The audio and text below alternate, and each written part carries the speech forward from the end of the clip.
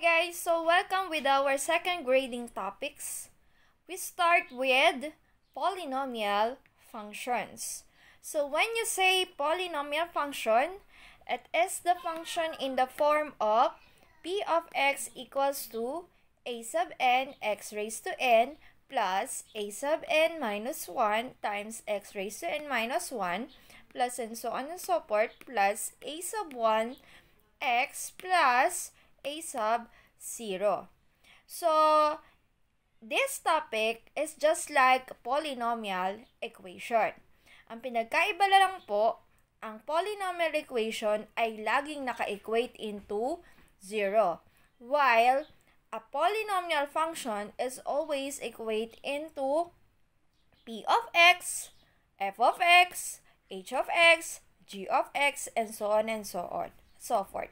So, lagi ka may makikita ang variable with the letter. Okay?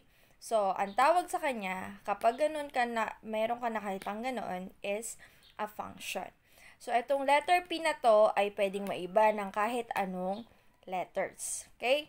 So, take note that a polynomial functions, uh, any uh, polynomial function p of x is always equal into y. Okay? So, kapag may f of x ka dyan nakita, it is always equal into y. Right? Take note of that. Then, so, n here must be always be a positive integers. Why? Kasi yung exponent niya ng polynomials must not be negative, a radicals, a fraction, or not an imaginary numbers. Kapag nagkaroon, nagkaroon ng ganun ang inyong exponent ng inyong variable, it is not a polynomial. Okay? So, take note that n or the exponent must be always a positive integers. Next, we have here a sub 0. a sub 0, a sub 1, then a sub n minus 1, then a sub n. So, yun naman yung ating tinatawag na numerical coefficient. Okay? Laging katabi ni variable x, numerical coefficient. Then, the number without a variable that is a sub 0, ang tawag sa kanya ay constant term. Okay? Yung dulo ay constant term without a variable. Then, yung pinakauna, this one, a sub n times x raised to n, ang tawag sa kanya ay leading term. Si leading term is consists of the highest degree polynomial. The highest variable with um, variable with the highest exponent. Is it clear? Then, the numerical coefficient na katabi ni nung variable na may pinakamalaking exponent, ang tawag sa kanya ay leading coefficient. Is it clear? So, let us have an example of polynomial function. Let's have our first example. It says that we have p of x is equals to 3x raised to 4 plus 4x cubed minus 2x squared plus 5x minus 6. So, we are going to find for the leading term. So, how will you say so that it is a polynomial function? Okay, so we have here a function. Then, our exponents are all positive. The exponent of the variable is all positive. So, therefore, it is an example of polynomial function. Now, let us determine the leading term. Again, when you say leading term, the, na, uh, the term with the highest exponent. So, obviously, the term with the highest exponent is this one. We have 3x raised to 4. So, si 3x raised to 4 is our leading term. Next, leading coefficient. So, what is your leading coefficient? When you say leading coefficient, it is the numerical coefficient ni leading term. So, since this one is a leading term, what is the numerical coefficient? We have 3. So, that is your leading coefficient. Next, degree. When you say degree, what is the highest exponent? So, our degree, we have here 4.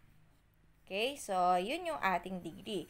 It is in the fourth degree. Alright? So, our degree is fourth degree. Ayan. para mas clear. Then, what's the constant term?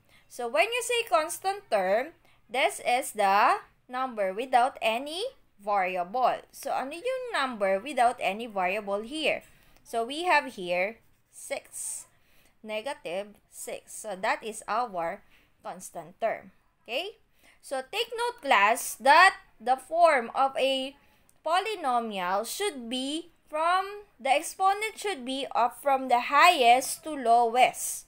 Tingnan nyo, 4, 3, 2, 1, 0. So, kailangan lagi siya naka-arrange from highest to lowest. Ma'am, paano pag hindi naka-arrange from highest to lowest? So, you need to arrange it from highest to lowest. Okay? So, I will give examples kapag uh, hindi siya naka-arrange into highest to uh, highest exponent to lowest exponent. Okay, let's have the next example. Example number 2. We have here f of x is equals to x times x minus 3. Okay? As you can see, it is not in the standard form. So, you are going to simplify this one. How will you simplify? You are going to multiply x to the um, binomial. So, x times x, then x times negative 3 by using distributive property. Okay, so the standard form of this example, we have here f of x, just copy the function, is equal to x times x, so we have here x squared, and then x times negative 3, the answer is negative 3x. So that's the standard form. So as you can see, the exponent is 2, 1. Okay? So, pa ta taas, pababa. So, tama na to. Now, let us determine the leading term. The term with the highest exponent. Ano yun? So, we have here x squared. So, that is the leading term. Next, the leading coefficient. What is the coefficient of this leading term? Ano yung kanya numerical coefficient? So, since we have here x squared only, we have here invisible 1. So, the leading coefficient, we have 1. Next, let us have the degree. So, what's the degree? The highest exponent.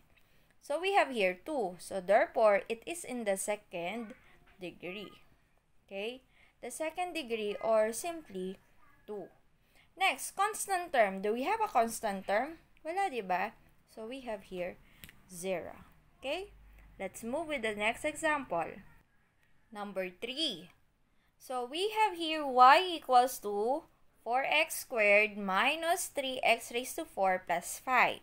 So, as you can see, the exponent is not on the highest to lowest. So, what you are going to do? You are going to arrange. You are going to arrange without changing the sign. Okay? Kasi hindi naman tayo pupunta dun sa kabilang side ng equal sign. So, you will just change it interchange the position of the term, okay? Without any changing the sign. So, let us have this one. Y is equals to 4x squared minus 3x raised to 4 plus 5. So, since ang pinakamataas ay si x raised to 4, so yun yung uunahin mo. So, we have here y, just copy y, is equal to Then, negative 3x raised to 4. Then, just copy that is positive plus 4x squared, then plus 5. O, ayan na. So, our exponent is from 4 to then 0. Okay, so we're done. So, that is the standard form. Now, what's the leading term? So, yung pinaka-umpisa, yung ating leading term. So, highest exponent, so x raised to 4. So, our leading term is negative 3x raised to 4. What is our leading coefficient? Our leading coefficient is the numerical coefficient of the leading term. What is it? So, we have here negative 3. Next, what's the degree? Highest exponent. So, we have here 4. The degree is in the fourth degree. Or simply, we have here 4. Next, constant term. The number without any variable, that is 5. That is our constant term. Is it clear? Let's move with the next one. So, just like number 3, yung number 4 natin, kailangan nating i-arrange ulit. So, our given is h of x is equals to 3 minus 2x plus x cubed. Okay? So, let us arrange it into the standard form by interchanging the terms. So, we have here h of x is equal to, so highest exponent, we have here x cubed, so we have x cubed. The next one is the uh, 1 lang yung exponent niya. So, we have minus 2x. Then, we have the constant term plus 3. So, that is the standard form. What's the leading term? So, the term with the highest exponent, ito, we have here x cubed. Okay? Next, what is the leading coefficient? What is the variable, uh, the coefficient of x cubed? We have here 1. What's the degree? Highest exponent that is in the third degree or simply 3. Then the constant term, the number without any variable, we have here 3. Okay? Next, let us move with the next example. Let's have num example number 5. We have a given here of g of x is equals to x times x plus 1 times x plus 2. So, not in the standard form. So, we are going to change it into standard form. We are going to distribute x and then this one is, um, we have FOIL method. Okay? So, we have here g of x. Okay? So, umpisahan muna natin dito. Ipasok muna natin yung x dun sa x plus 1. So, we have here, this one becomes x squared plus 1 times x, we have x. Then this one just copy, we have x plus 2. Then FOIL method tayo. Ah, lagay ko dito. So, x squared times x, so we have x cubed. Just add the exponent, diba? Then, x squared times 2, that is plus 2x squared. Next, x times x, that is plus x squared. Then, x times 2, that is plus 2x. Okay? Next, just combine like terms. Yung parehas na may exponent na 2. Combine mo yan. So, therefore, this one just copy, x cubed. 2x squared plus x cubed, we have plus 3x squared. Diba? 2 plus 1 dito. Okay? Then, plus 2x. So, that is the standard form. Next tayo, find the leading term. So, what is the leading term? When na, uh, the variable with the highest exponent? Obviously, x cubed. What's the leading coefficient? Oh, what's the coefficient of x cubed? We have here positive 1. Next tayo, what's the degree? Ang ating degree ay third degree.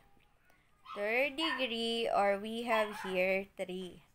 Next, the constant term. Do we have a variable uh, a term with a number with without variable? Wala, 'di ba? So the our constant term we have here 0. So that is a polynomial function and standard of polynomial function.